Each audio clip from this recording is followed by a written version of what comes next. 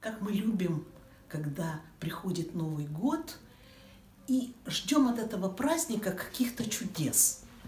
Это все из детства идет, когда мы хотим, что вот прямо сейчас произошло какое-то чудо, которое нас сделает счастливыми.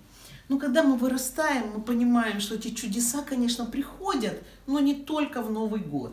Поэтому мы попытались нарисовать вот в этой работе танец красной чашечки, нашей любимой чашечки, из которой мы утром пьем кофе. У нас с есть такая чашечка дома, итальянская, конечно, и она настолько новогодняя, что когда вы из нее делаете глоток чая или кофе, вы как бы опять возвращаетесь в эти новогодние праздники, когда происходят по ночам чудеса да, когда люди уже расходятся от застолья, а чашечки начинают жить своей собственной жизнью. Вы же знаете, что мы не успеваем мыть посуду после того, как усыпаем раньше, чем закончился праздник. А елка тихо обогревает все пространство нашего как бы праздничного застолья и звенит всеми игрушечками и манит нас этими конфетками и как бы э, в каждую иголочку елка впитывает то плохое, которое, возможно, может прийти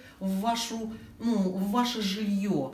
Ягоды, бузины, да, и вот эти вот чашечки, они, возможно, стоят в каких-то э, несвойственных им положениях, но именно как, как будто бы это хоровод – хоровод предметов, которые нам улучшают нашу жизнь и дают нам воспоминания о празднике сделать таким, как в детстве.